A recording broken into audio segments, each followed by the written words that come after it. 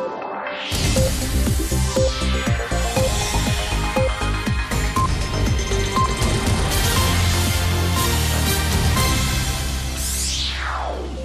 Ողջույն Factor TV-ի հյուրը ազգային ժողովի քաղաքացիական պայմանագիր խմբակցության падգամավոր Արման Եղոյանն է վարձես։ Պարոն Եղոյան, ինչ է կատարում այսօր ռուսական հավերժությունում։ Ես ընդհանրապես նկատի ունեմ այն հայտարարությունները, որ ռուս պաշտոնյաներից կարող ենք լսել հայտարարություններ, որոնք սպառնալիքի տոն ունեն, պահանջների տոն ունեն, զգուշացման տոն ունեն։ Այդ ինչ է Երևանը անթույլատրելի անում, որ նման գնահատականներ են գալիս։ Ա եթե խոսքը վերջին հայտա եթե հապկի մաս կոնտեքստում ձեր հարցը ապա ենթադրում եմ որ խոսքը հապկում մեր անդամակցությունը դե ֆակտո սառեցված լինելու մասին է խոսքը եւ այդ հայտարարության բացատրությունն էլ վարչապետը տվել է այսինքն հապկի պատասխանատվության գոտու վերաբերյալ հարցի պատասխանի բացակայությունը, հա? Այսինքն տեսեք հապկի ինչ ինչ ինչից է էլ այս խոսակցությունը սկսվել, երբ եղավ 44 օրյա պատերազմը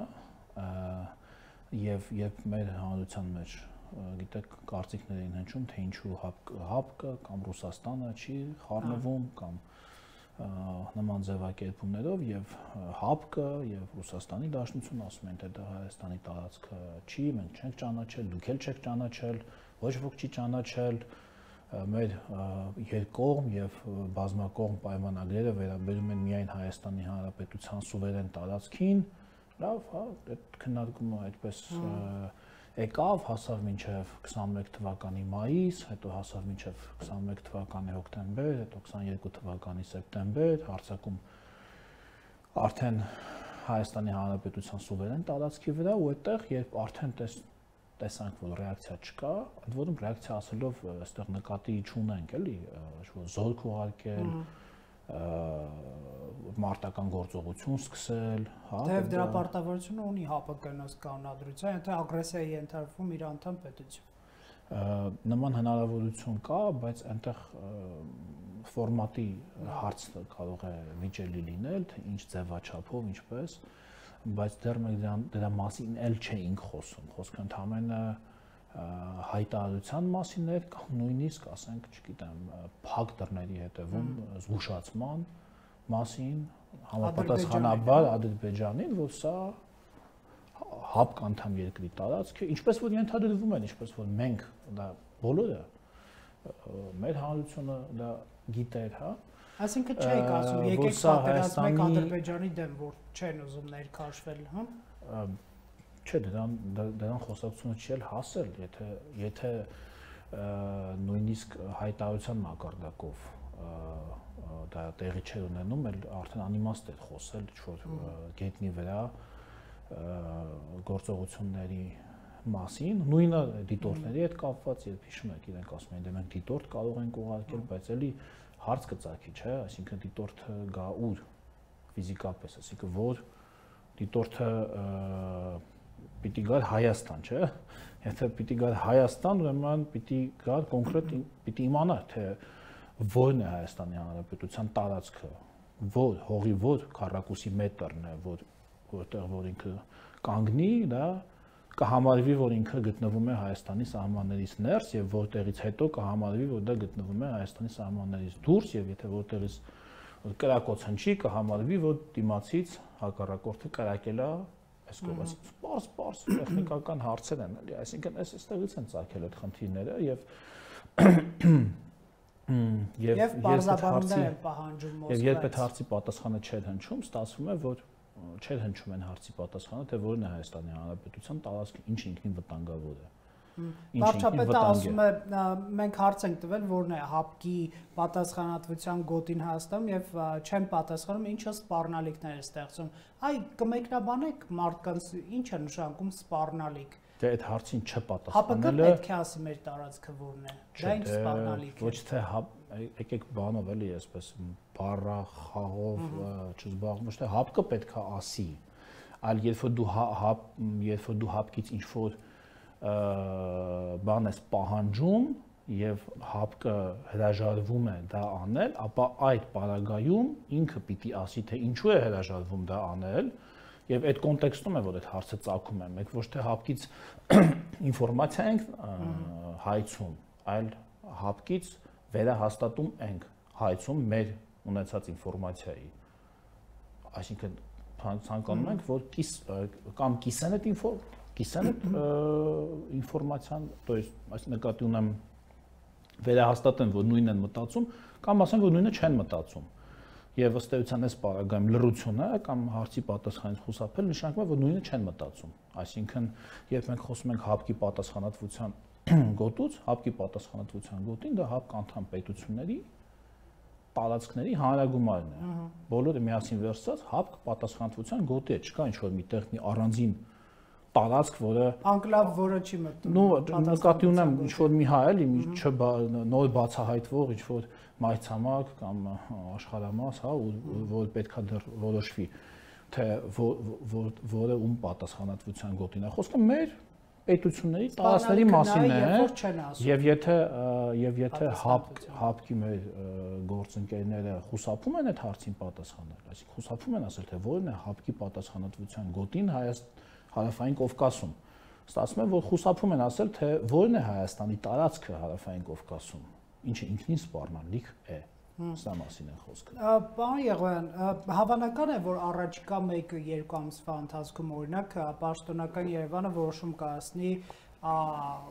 դե յուրե հապկում այլևս չլինելու վերաբերյալ։ Դա նման որոշումները, այսինքն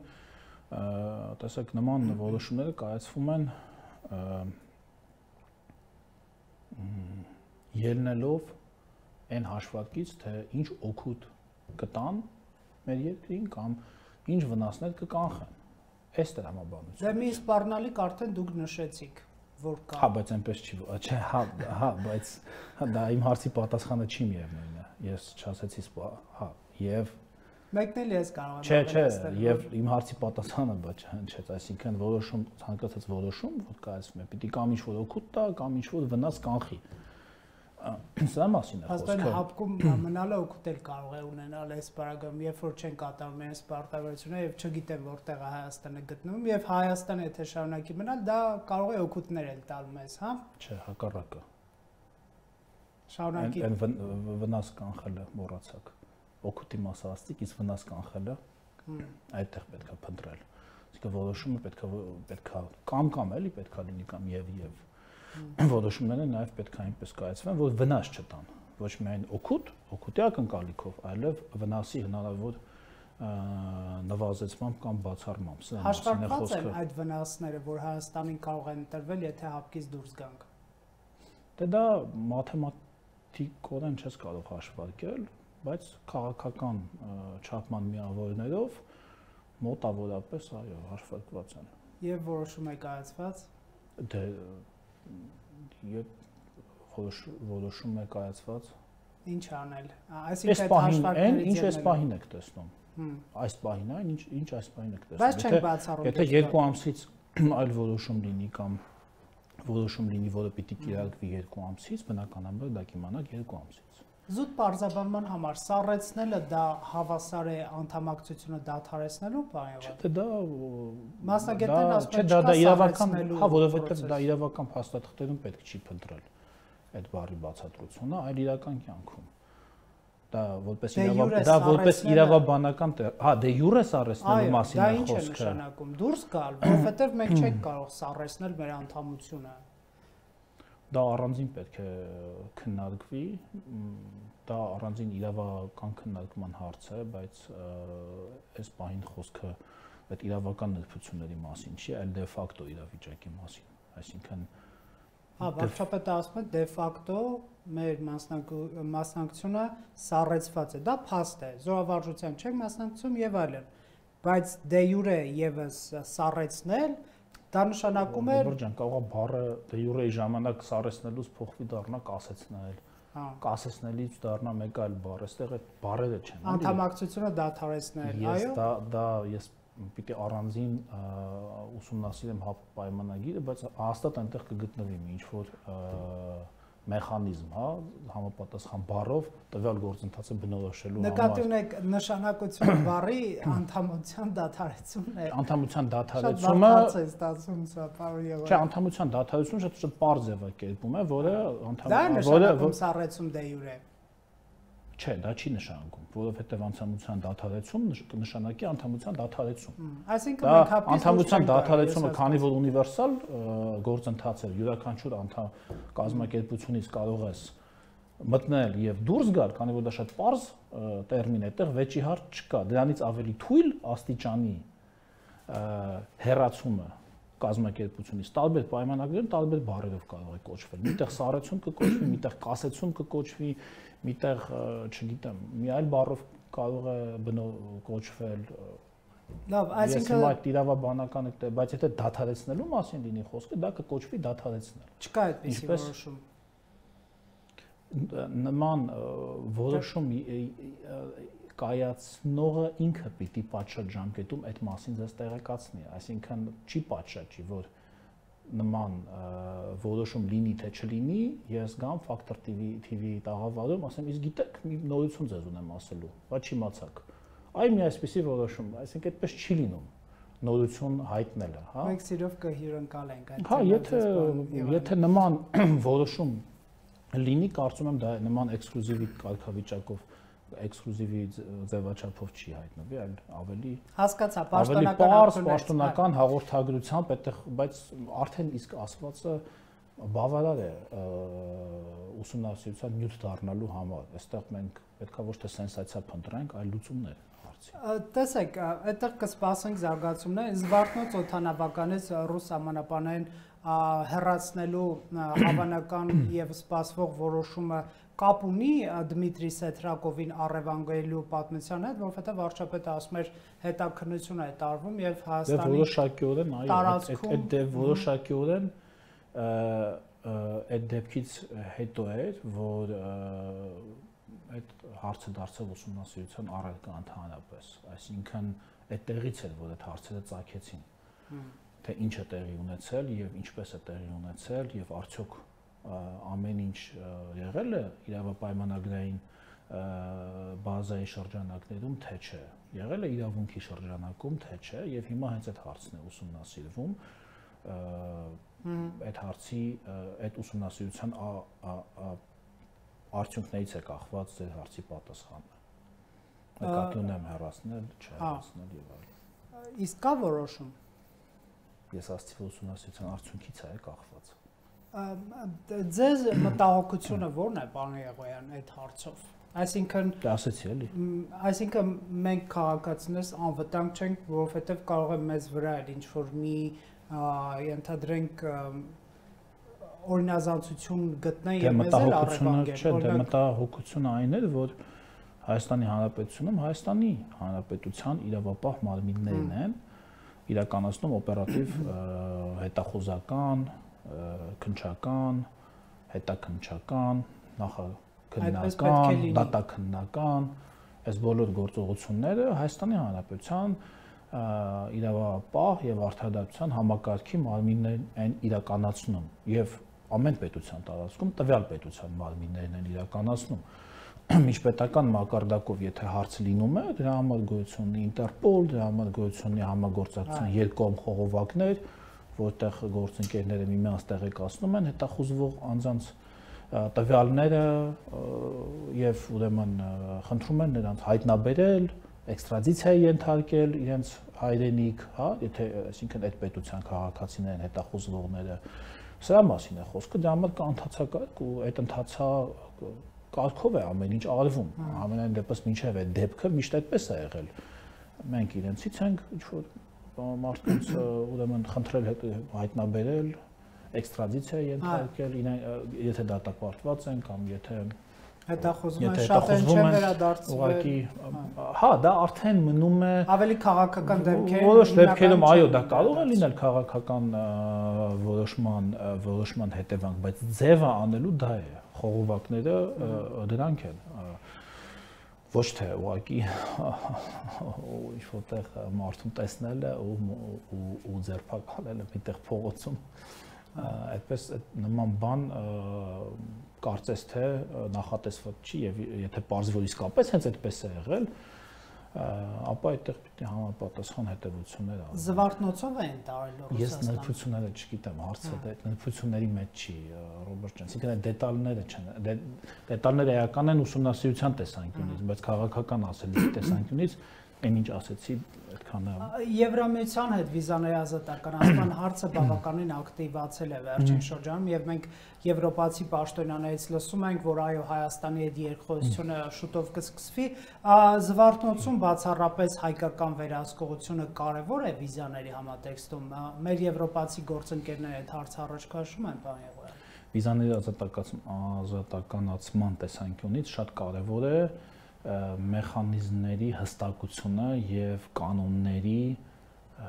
հստակությունը եւ կանխատեսելիությունը։ Այս սա է կարևոր։ Սա է ամենակարևորը, որը որ այդ դեպքի բերումով կասկածի տակ է հայտնվել։ Այսինքն, այստեղ հարցը այնա թե ինչ աստիճանի կանխատեսելի է իրավական գրված նորմերի կյանքում ռեալ կյանքում իրականացումը, սրա մեջ է հարցը։ Այսինքն ինչպես որ գրված է վիզաների ազատականացման դեպքում, հա, կամ նման հերանեկար ունեցող երկրի պարագայում, ինչպես որ գրված է, այդպես էլ պիտի լինի։ Դա շատ կարևոր հարց է, որտեղ Հայաստան 1000-ի, այսինքն նկատի ունեմ Եվրամիության դեպքում 27 երկրի քաղաքացի գալիս է եւ գնում է այստեղ գալիս է գնում է մենք ենք գնում մենք ենք գալիս եւ այստեղ հասկանում ենք որ ամենատարբեր իրավիճակներ կարող է լինել որոնք չեն կարող լուծվել հայեցողաբար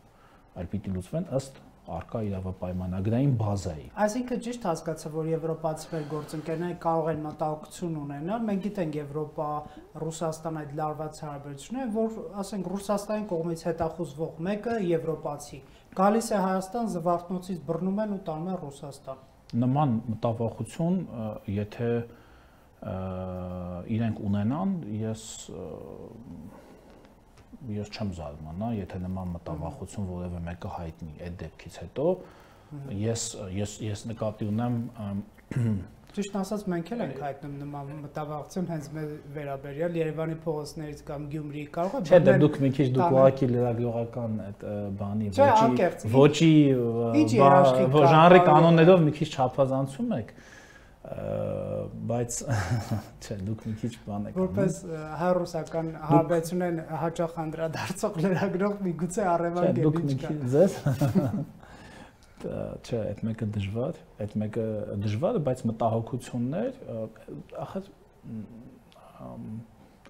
տեսեք քաղաքական մակարդակի մտահոգությունները ծնվում են իրավիճակի ամբողջական գնահատականից եւ իրավիճակի քաղաքական ռիսկերի գնահատականից եթե կարողացա ճիշտ ասել այսինքն այստեղ մենք գործ ենք ունենում ոչ թե 1, 2, 3 մարդու դեպքի մասին, այլ ընդհանրապես անվտանգային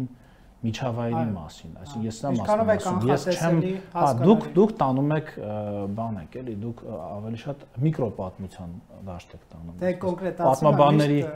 պատմաբանների լեզվով ասած դուք միկրոպատմությունների խոսակցություն եք ուզում ունենալ, ես մակրոպատմություն էլ եք դեմ կոնկրետ անցումների, ես հիշում եմ ցլերի թեմայով։ Հա, հա, ցլերի։ Լավ, ցլերը։ Այո։ Հիմա տեսեք, Ինչ եք կարծում, արդյոք հարված չի Հայաստանի ինքնիշխանության, երբ որ այո, մենք հրավիրել ենք Հայաստանի Եվրամիության դիտորդներին այն բանից հետո, երբ ՀՊԿ-ն հրաժարվեց կատարել իր անվտանգային պարտավորությունները, երբ որ ռուս զինծառայողները թույլ չեն տալիս ՀՊԿ դիտորդ ԵՄ դիտորդներն մտնել ներքին հանդ։ Հիմա դուք էլի գնացիք, ես ասացի օրին ախր տեսեք Ռոբերտ ջան, քաղաք դեպքերը, այսինքն կոնկրետ դեպքերը միգուցե առիթ են հանդիսանում իրավիճակի վերաբերյալ այսպես խոսելու համար, բայց այդ դեպքերի վրա անընդհատ անընդհատ այդ դեպքերի վրա շեշտադրում անելը կարող է ուռճացնի դրանց իրական նշանակությունը, հա? Եվրոպական դիտորդական առաքելությունը շատ մեծ գործ է արել եւ անում է Հայաստանում եւ բազմաթիվ խոչընդոտներ նրանց համար եթե նույնիսկ եղել են հարթվել են եւ դուք դրա մասին միգուցե չեք էլ իմացել եւ այն դեպքերում որտեղ որ դուք իմացել եք որոշակի չլուծված խնդիրների մասին, դա չի արտացոլում ամբողջ այդ անվտանգային համակարգի ճարտարապետությունը։ Հասկանում եք, ես Չեք ուզում մասնավոր դեպքեր տարածել։ Չէ, ախր հասկանում եք, ես մեր Հայաստանի շահերից չի բխում ախ ես սա շատ եմ էլի ասել դու գիտեք իմ տեսակետները Հայաստանի շահերից չի բխում որ մենք գնանք մի դեպքի վերաբերալ դա ասենք ու այստեղ բերենք ու այդ դեպքը սարքենք բան այսպես մեդիա առիթ դնենք մեդիա հարթակներում պատտենք, ասենք բան դարձնենք, գիտեք, այս մեր երկրի տարածքում շահերի բախման բան հարթակ։ Դա մեզ պետք չի։ Մեզ պետքա չլինի շահ, մեզ պետքա հարթ հարթ հանգիստ անցնել այս իրավիճակներով։ Հիմա ես կարող ինձ դժվար չի, գիտեք, ուզում եք 5 հատ սենսացիոն բան ասեմ։ Չէ, հասկացա, որ ինձ խնդիր չի։ Ինձ ինձ ասեմ, ինքնիշխանությունը հարված չեք համարում այդ Չէ, ասեմ, ծափահարություններին էլ արժանանամ, հազարավոր լայքերն էլ հավաքեմ, վեր կենամ գնամ, բայց դա օգուտ կտա Հայաստանին, չի տա։ Իսկ իմ գործն է այն, որ ես օգուտ տամ իմ խոսքով Հայաստանին կամ գոնե կանխեմ վնասը։ Լավ, պարոն Եղան, հուսամ ավելի པարզ այս հարցին կպատասխանենք։ Տեսեք, դուք տեսնում եք վտանգ, որ ռուս-ուկրաինական պատերազմի արդյունքում կամ հետևանքով փորձ արվի վերականգնել խորթային միությունը այլ անվան տակ։ Ինչու եմ այս հարցը տալիս, որովհետև Դե դա Ռուսաստանի նախագահն էլ չէ, ինքը շատ այս վերջին հարցազրույցում շատ բաց տեքստով ասաց։ Չէ՞։ Այո շատ ինչքան որ հնարավոր է բացասել ասած։ Դա լուրջ չեն նկալում, ինչ որ մատերի արանքով են նայում։ Չէ, բայց դա բաց նկատի ունեմ, որ այդ մտա, չէ, բայց ինքը շատ པարս տեքստով ասեց, ասեց, որ ինչպես ինքն է դա հասկանում, սովետական միության վերջին ղեկավարությունը, այդ վերջին կազմը էլի, սովետական միության ղեկավարության գնացել է սովետական միության ինքնալուծարման, որ հարաբերությունները լավացնի արևմուտքի հետ ինչպես դա ինքն է հիմա վերլուծում կրկնում եմ, ինչպես ինքն է դա վերլուծում։ ՆԱՏՕ-ի անդամակցության մասին էր խոսքը։ Հա, ՆԱՏՕ-ի անդամակցության այդտեղ դետալը, հա, բայց դա դետալ է, բայց ընդհանրապես ՆԱՏՕ չլիներ, ԵՄ լիներ, ԵՄ չլիներ, այլ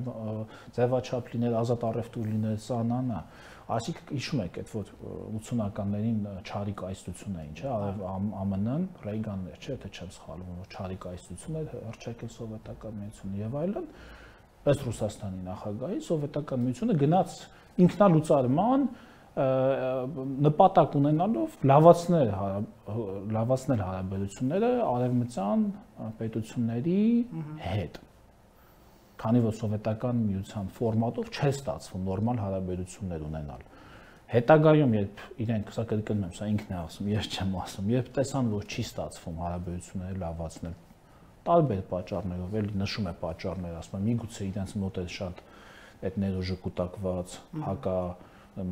փորձագիտական ներուժներ միգուցե կուտակված ավելին, քան նախատեսվում էր նախատեսվում էր օգտագործել, հա եւ քանի որ չստացվեց մի խոսքով այդ հարաբերությունների լավացումը հարց ցակեց թե ինչին է պետք սովետական միության լուծարումը։ Սա կրկնում եմ ինքն է ասում։ Այս ամեն ինչ ասում եմ, որպեսզի կոնտեքստի չկտրվի, սա դեռ ինքն է ասում։ Ու այդտեղից հետո արդեն գալիս է Բոգդան Խմելնիցկի եւ այլ եւ այլ փաստաթղթեր, հա, խնդրանքներ արել, բան, եւ այսինքն խոսակցությունը գնում է այնտեղ, որ դե եթե պիտի արևմուտքի հետ մեկավատ հարաբերություններ ունենայինք, էլի ինչի մեր ինչի մեր պետ, այսինքն իր ասելով մեր պետությունը այսինքն սովետական միությունը պիտի լուծարեինք։ Դե եթե չի ստացվում, հենա հետ հավաքենք։ Խոսակցության տրամաբանությունը դա էր, հա։ Ուկրաինայի դեմ պատերազմը համատեքստում է հետ հավաքելու։ Դե ասեց էլի։ Ախր Ռոբերտ ջան, դուք ինձ տալիս եք հարցեր, որ Կարլսոն Տակերը արդեն տվել է Վլադիմիր Պուտինին եւ պատասխանը ստացել է։ Սենսացիա ու դրանից չգիտեմ ինչ սենսացիա ստացվել է թե չէ, բայց եթե չի ստացվել սենսացիա, իմ ասելուց դժվար սենսացիա ստացվի։ Բայց ինչ է։ Ասենք ես միշտ ապշում եմ, ապշում եմ, որ ասված բանը, դուք ասում եք ձեր կարծիքով, դա իմ կարծիքով չի, դա իր կարծիքով, ու դա ասել է, մարդը բարձրաձայն ասել է բանով նույնիսկ բանով ասենք ոնց ասեմ բանը ես չեմ հերքում է չէ ուզում եք չէ դուք ուզում եք դուք ուզում եք ներկայացնել թե դա իմ բանն է իմ տպավորությունն է կամ իմ կարծիքն է որ եթե բան վերնագիր է պետք սենսացիոն, մի ուրիշ բան կարող եմ ասել, չգիտեմ։ Ասեք։ Ոնց ասեմ։ Կարող եմ ասել, կարծում եմ, որ երկրագունդը կլոր է կամ նման բան կարող եմ ասել։ Չափազանց մեծ սենսացիա։ Հա, այդ դու հիմա դուք դա եք ուզում։ Ուզում եք ասեմ երկրագունդը կլոր է ու սենսացիա լինի, դա ներկայացնեք որպես գյուտ։ Որն է Հայաստանի իշխանությունների անելիքը այդ համատեքստում։ Բարդ է ասել, դա կախված է, դա կախված է նրանից, թե ընդհանրապես ինչ ընթացք ունենա պատերազմը Ուկրաինայում։ Դա կախված է նրանից, թե ինչպես կընթանան ներ եվրոպական եւ ներ ամերիկյան քաղաքական process-ները, դա դա կախված է նրանից, թե ինչպես կզարգանան թուրք-ամերիկյան հարաբերությունները։ Դա կախված է նրանից, թե ինչպես կզարգանան գործընթացները Վրաստանում։ Դա կախված է նրանից, թե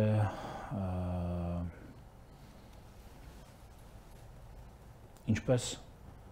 ինչպիսի ստատուս քվո կհաստատվի արևելք արևմուտք առևտուրային ճանապարհների վրա։ Իսկ մեզնից ոչինչ կախված չի։ Կախված է, կախված է։ Մեզնից մեր որ այդ սցենարի տակ ընկնի։ Դե ինչ ինչ մեզնից կախված է մեր չափի անելիքը։ Ես միշտ այս թեման մասին մտածելիս 20 թիվն եմ հիշում։ Թե ինչպես կգնան գործընթացները ԱՄՆ-ում, դա կախված չի։ Դեկտեմբերի 2-ի այդպես վատատեսական սպասում ունեք, պարոն Եղայան, 1920 թվի։ Որ դեկտեմբերի, ինչպես։ Հա, հա, դե որպես օրինակ եք բերում դեկտեմբերի 2-ը նույն սցենարով։ Այո Ես ուղղակի ուզում հասկանալ ինչ երաշխիք կա, որ դա չի լինի անկեղծ։ Ռոբերտ ջան, աշխարհում ոչ մի երաշխիք չկա։ Դուք այլ այս ոչ թիվնա որ երաշխիքներ եք փնտրում։ Դուք ումից եք որտեղ որտեղ եք տեսել հիմա երաշխիքներ աշխարհում, որ ինձանից երաշխիքներ եք ուզում։ Ո՞վ ունի այսօր երաշխիք։ Այսօր գերտերությունները երաշխիքներ չունեն։ Ես ու խնդրում դուք էլ այդ հարցում մի քիչ օգնեք էլի մեզ այդ բանից այդ այդ հին լեզվամտածողությունից հրաժարվելու առումով ինչպիսի երաշխիքներ կան։ Նման հարց ընդհանրապես չի կարող հնչել 2024 թվականին։ Չի կարող հնչել նման հարց, ինչպիսի երաշխիքներ կան։ Որոնց ոչ մեկի չէ։ Հիմա որ գնաք ԱՄՆ նախագահին էլ նման հարց տակ։ Ռուսաստանի նախագահին, Ֆրանսիայի, Չինաստանի ղեկավարին։ Կասի, «Էս ինչ եք ասում, ինչ երաշխիք»։ Չեք տեսնում ինչա կատարվում աշխարհում։ Նոր ստատուս քվոն երբ որ կհաստատվի, այդ ժամանակ կխոսենք երաշխիքներից չափազանց կարևոր է թե այդ նոր ստատուս քվոյի նկատմամբ Հայաստանի Հանրապետության դիրքավորումը ինչպեսին պետք է լինի։ Վարչապետը վերջերս Մյունխենում էր ասում, որ ըստ էության ընտրություն կատարելու հրամայական կա այսօր Հայաստանի Հանրապետության առաջ եւ նշում էր, որ 2-3 աթոռին նստելու ժամանակները անցել են, հիմա հարց են տալիս, որն է կոնտրությունը եւ սա սրում է իրադրություն, եթե ընտրություն չկատարես, վատ վիճակում կլինես, եթե կատարես, թիրախ ես դառնալու նրանց կողմից ում օգտին չէ քո ընտրությունը, այսինքն բոլոր ճանապարհները ռիսկային են, ռիսկային են։ Նշանակում է ո՞րն է այն ճանապարհը, որը այո ռիսկային է, բայց նաև կարող է աջակցել, որ Հայաստանի Հանրապետության պետականությունը պահպանվի, պարոն Եղայան, շատ կոնկրետ եմ տալիս։ Ոչ մի ճանապարհ ոչ ռիսկային չի, դրախտավայր։ Դա այն ճանապարհն է, որով հիմա մենք ենք գնում։ Դա այդ ճանապարհն է, որով հիմա մենք ենք գնում, որտեղ մի կողմից մենք փորձում ենք նվազեցնել ռիսկերը, բայց մյուս կողմից էլ փորձում ենք զարգացնել մեր հարաբերությունները, դիվերսիֆիկացնել մեր անվտանգությունը, ինչքանով որ դա հնարավոր է, եթե հնարավոր է ամբողջությամբ, ոչ ի վնաս մեր գործող կամ արդեն էլ չգործող, բայց թղթի վրա մնացած հարաբերություններին։ Եվրամիության անդամակցության տեխնատության process Հայաստանը երբ կսկսի։ ես այս մասին էլ շատ անկեղծ ասեմ։ Ես տեսեք, ես Հայաստանի Հանրապետության ազգային ժողովի եվրոպական ինտեգրման հարցերի մշտական ազգժողովի նախագահն եմ։ Ճիշտ է։ Ով ավելի շատ կուզենա, որ մենք շատ շուտ, շատ արագ, հենց Չէ, արագի մասին չեմ խոսում։ Առաջին գործնական այսինքն զուտ գործ առաջին գործնական, տեսեք, չէ, ուզում սա ինչի էս նախաբանը ասացի, որ իմ ասածը սխալ չընկալվի։ Եվրամիության անդամակցությունը միայն թղթեր չեն։ Դրանք միայն թղթաբանություն չի, որ ասես այ այս թուղթը այստեղ ստորագրի եւ դու դարձած Եվրամիության անդամ։ Այդպես չի լինում ոչ մեկի դեպքում այդպես չի եղել։ Նույնիսկ տեխնացուների, նույնիսկ տեխնացու պետությունների դեպքում այդպես չի լինում, որովհետեւ դառնան Եվրամիության անդամության տեխնացու, միայն տեխնացու, ասենք մի 10-15 տարի բան են անում, նախապատրաստվում են, իրաց օրենսդրությունն են փոխում, որակի չափանիշներն են փոխում, հազարը մի բան կա, արտադրության համակարգ, դրա դրանից շատ բաներ մենք Հիմա էլ անում ենք ոչ անկախ անկախ քաղաքական ընտրության հերանեկարի անում ենք, որովհետև դա մեզ պետք է եւ անում ենք, որովհետև մենք արդեն իսկ ունենք կնքված եւ վավերացված եւ ուժի մեջ մտած համաձայնագիր ՍԵՊԱՆ Եվրամիության հետ, որը այդ հիմնա հիմնա, ինչ ասեմ, հիմնային շարն է։ Հա, եթե բուրգի պես պատկերացնենք, այդ հիմնային շարն է, եվրոինտեգրման process-ի։ Առանց այդ հիմնային շարի դու վրան վրան նոր քաշ չես կարող ավելացնել։ Պիտի հիմնային շարը լինի, հա? Հիմա եթե մենք խոսենք արտահանման դիվերսիֆիկացիայից, պիտի ապրանքների արտադրության մեր որակը փոխվի պիտի փոխվի համապատասխանեց փոխվում է այո փոխվում է տարբեր դժվար ոչ բավարար տեմպերով է փոխվում լավ չի բայց մենք որոշ ոլորտներում բավարար տեմպերով որոշ ոլորտներում ոչ բավարար տեմպերով բայց մենք հիմա անում ենք ախր այդ ոչ բավարարն էլ ծուլությունից չի որ ոչ բավարար տեմպերով է այլ ընտրությունից է որովհետև արտադրության որակ փոխել նշանակում է առ ժամանակ շահույթ կրճատել այդ դա է նշանակում։ Դե պետության աջակցությունը առ ժամանակ շահույթ կրճատել, առ ժամանակ գոտին ձգել, առ ժամանակ որոշ աշխատողների կրճատել եւ այլն եւ այլն այ նման խնդիրներ կան որը նախ մենք ու հիմա էլ առիթից օգտվելով սա ասում նախ մենք պիտի բացատրենք հետո նոր կամած կամած իրականացնենք բացատրելով սա ամբողջ բանը օգտակարությունը հա այսինքն կոպիտ ասած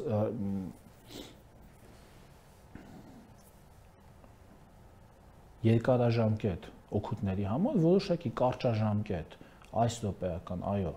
շահութաբերություն եւ այլն, հա։ Դե բիզնեսը սիրում է հենց հիմա փող ստանալ։ Դրա համար էլ կան քաղաքական գործիչներ, ովքեր նայում են մի քիչ փորձում են նայել մի քիչ ավելի հեռու, օրինակ դուք որ նայեք վրացական օրինակը, այնտեղ կտեսնեք ինչ վիճակում հայտնվեց վրացական բիզնեսը, օրինակ 2008, 9, 10, 11 թվականներին շատ դժվար փուլ էր իրենց համար։ Իրանք մի կերպ այդ փուլից դուրս եկան, մի կերպ հազիվ հազ այսպես իրենց արտադրանքի արտադրանքի որակները համապատասխանեց։ Այսօր երբ որ դուք հիմա գնաք, ես շատ եմ էլի դա տեսնում ասենք եվրոպական սուպերմարկետներում դրված է մոլդովական գինիներ, կողքը վրացական գինիներ, այն մի կողքը, չգիտեմ, մի ուրիշ ապրանք է, այն մի կողքը մի ուրիշ, մի ուրիշ, հայկականն էլ կա, բայց ավելի քիչ։ Հայկականը այն սեգմենտն է, որը արդեն իսկ համապատասխանեցված է այդ ստանդարտներին, ես հիմա գովաշ չանեմ, հա, Ոչ բոլոր ալկոհոլ, նույն ալկոհոլի շոկ, այ ոչ բոլոր։ Այն որը որը համապատասխանում է ստանդարտներին։ Եթե արտադրում ես մի բան, Եվրամիության ստանդարտն ասում է, արտադրել ես մի ինչ որ բան, պիտի վրան գրես, ինչ կա մեջը։ Ամբողջությամբ պիտի գրես, ինչ էլ որ կա։ Սպառողը կկարդա, կընտրի, ուզում է գնի այդ ապրանք, չպիտի խափես, չպիտի գրես։ Չգիտեմ, մեջը խնձոր է, բայց մեջը իրականում լինի, ընդհանրենք, չգիտեմ, դեղց։ Եթե խնձոր է, պիտի գրես խնձոր, դեղց է, պիտի գրես դեղց։ Էսա պիտի գրես սա, բամբակ է, պիտի գրես բամբակ բանա, չգիտեմ, պոլիստեր է, պիտի գրես պոլիստեր։ Այսքան տոկոս է, պիտի գրես այդքան տոկոս։ Ու դա վերահսկվում է այնտեղ շատ խիստ։ խափեցիր կգան այնքան կտուգան են մինչև բիզնեսը այ այս սրան մենք պիտի կամած կամած կամած հա, հասնենք այս պայմաններում որ մենք կկարողանանք այ սա է իրական եվրո ինտեգրացիան այս սա է սա որ եղավ հենա եղավ էլ արդեն բացվում է էլի շուկան էլ կբացվի մյուսն էլ կգնի մյուսն էլ չէ դե դա քաղաքական կառույց է բան եղան ես դեմ չեմ եվրոպական ստանդարտներով ախր քաղաքական որոշումները գալիս են քաղաքական որոշումները գալիս են գետնի վրա տեղի ունեցած փոփոխություններից հակառակնել է բնականաբար հակառակնել է լինում լինում է քաղաքական որոշում որ գետնի վրա պիտի լինեն այս ու այս փոփոխությունները դա էլ է լինում նա էլ է լինում բայց այնպես չի լինում որ դեռ ոչինչ չարած ոչ գետնի վրա փոփոխությունը սկսած ոչ էլ փոփոխության հետևից հասնելով այլ ուղակի թուղ ստորագրելով ասես ես սրանից հետո սա եմ այսինքն եթե կարողացա Կամ որ հասկանալի է, այս թեման անverջ է, ես կարծում եմ Չէ, անverջ է, անverջ, բայց սա է, սա է իրողությունը։ Մենք պիտի մեր հիմա մենք զբաղվում ենք այդ հարցով միջգերատեսչական հանձնաժողով կա, որ զբաղվում է այդ հարցով, ու սա ես մի օրինակ բերեցի, բայց բազմաթիվ են այդ օրինակները, բազմաթիվ։ Արտադատության ոլորտում արտադատության ոլորտում քիչ թե շատ ըստ եվրոպացի փորձագետների քիչ թե շատ նորմալ է վիճակը, ոչ թե քիչ թե շատ, այլ բավականին լավ է վիճակը, բայց այնտեղ էլ բարեփոխումների կարիք կա, բայց նաև ընդհանուր մեր կյանքում ամեն ինչի, ամեն ինչի վերաբերյալ փողոցի, չգիտեմ, ասֆալտի, ոյմա ասեմ, ասֆալտ էլի կասեք, աս ճանապարհների որակ, ստանդարտները ճանապարհների, գծանշումների որակ, նշանների որակ, Ես հասկացա, այս ամեն ինչը որ անենք, այսինքն ինքնըստինքյան է ստացվում, այդ այդ process ինքնըստինքյան կստացվի հասկացա պարոն վարչապետը երկու անգամ ես եմ հիշում ասում էր Եվրամիության պատրաստ ենք մոտ լինել այնքան ինչքան Եվրամիությունը պատրաստ կլինի եթե Եվրամիությունը Հայաստանին ուղարկի ուղերձներ որ պատրաստ ենք անդամակցության իրական process սկսել Սա նշանակում է, ես ճիշտ եմ հասկացել, որ Հայաստանի իշխանությունը կսկսի արդեն այդ սխեմայի մեջ աշխատել անդամակցության նախապատրաստություն, տեխնացության, տեխնացության։ Ես նույնից եմ ասում, տեխնացության ես այսքան ասացի, բայց քանի որ ձեր մոտ հարցը արդեն կա նախապատրաստված, դուք իմ ասածը ջնջեցիք, դրեցիք մի կողմ ու ձեր հարցը ամեն դեպքում տվեցիք անդամության նախապատրաստության առաջի փուլը, երբ որ Եվրամիությունը մեզ ասելու են ուրա բերեք սեպան, տեսնենք քանի տոկոսով է կիրարկել։ Մինչև սեպան 100%-ով չկիրարկենք, 100%-ով եւ ֆորմալ 100%-ով որը բովանդակային էլ 90 եւ ավել տոկոսով նկատի ունեն որակը այդ կիրարկման ոչ թե ուղղակի փաստաթղթավոր ես քաղաքական իմաստով եմ ասում հարցը առանց դա քաղաքականը չի կարող լինել ասում եմ առանց տեխնիկականի քաղաքականը չի կարող որովհետեւ հենց հաջորդ բանին կգան կստուգեն կտեսնեն կասեն կներեք դուք լավ չեք արել այսինչը չի ստացվում դա քաղաքական նպատակ կա, ես չեմ ասում դուք հենց հիմա հայտարարեք, որ մենք սկսում ենք process, բայց նպատակների առումով բան կա թե չկա։ Նպատակների առումով մենք մեր երկու հարևանները արդեն իսկ Եվրամիության անդամության տեխնացու են եւ ըստ էության Եվրոպան է եկել եւ Եվրոպական միությունը այսօր ավելի ու ավելի մոտենում է մեր տարածաշրջանի եւ քաղաքական նպատակները մենք պետք է բխեցնենք մեր տարածաշրջանի իրողություններից։ Շնորհակալ եմ, ես հասկացա ինչ նկատի ուներ վարչապետը, երբ ասում էր տարածաշրջանացում։ Դա էլ է շատ հետաքրքիր հարց, այո, դա էլ է շատ դա էլ է շատ դա էլ է շատ հետաքրքիր։ Հյուսիս արևմուտք թե հարավ արևելք։ Չէ, դա էլ է շատ հետաքրքիր, դա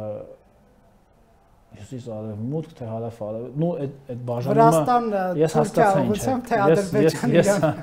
ես հասկացա ինչ եք ասում բայց բայց որովհետև տարբեր գույներ կան մեր տարածաշրջանում ես հասկացա ինչ ինչ եք ասում բայց դուք տարածաշոր դուք երկչափ մի պատկերացրեք հա դուք տարածաշրջանը մի պատկերացրեք քարտեզի նման երկչափ տարածաշրջանը նույնիսկ երրաչափել չի տարածաշրջանը ամբողջ մոլորակն է։ Չէ, չէ, չէ, չէ, չէ, խնդրում եմ այս մի քիչ հումորի չտանք, բայց քարաչափը եւ ավել, այսինքն այնքան շատ չափումներ ունի։ Ընդհանրապես դա ազդեցություններ։ Հիմա նույն Եվրամիության ներսում նույն Եվրամիության ներսում կարող եք գտնել պետություններ, որոնք որոնք վարում են ավելի քիչ եվրոպական կամ ԵՄ քաղաքականություն, քան Եվրամիությունից դուրս գտնվող որոշ երկրներ։ Այսինքն այդ տարածաշրջանը այսպես գծերով իրարից չեն բաժանվում, սահմաններով չեն բաժանվում։ Քիչ հեռավար այլ այլ իրանք ավելի շատ ավելի շատ իրարից բաժանվում են քաղաքական որոշումներով, հա, ոչ թե ոչ թե պետական սահմաններով։ Մի պետություն մի օր կարող է, հիմա ասենք նույն դուք Թուրքիայի օրինակը բերեցիք Ես խոսեցի Թուրքիա ԱՄՆ հարաբերությունների մասին։ Հիմա այդ հարաբերությունների որակից ես իզուր չասեցի, մեծապես կախված է նաև մեր անելիքները։ Այն հարաբերությունների որակը ազդելու է մեր վրա, ուզենք թե չուզենք։ Իսկ թե ինչպես է ազդելու, դա առանձին խոսակցություն։ Խոսենք հաջորդ հարցազրույցում։ Շնորհակալ եմ, պարոն Եղոյան։ Factor TV-ում հյուրընկալել ենք Արման Եղոյանը։